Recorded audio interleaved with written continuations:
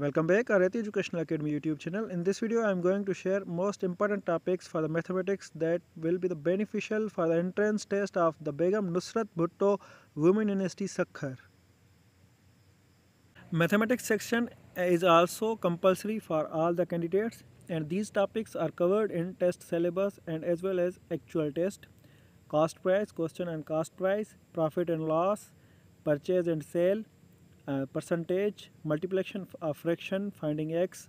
These are all, all questions are based uh, from the textbook of grade 6 and 7, ratio, average, age problems, sequence, multiplication of fraction, discount rate, integers with DMAS,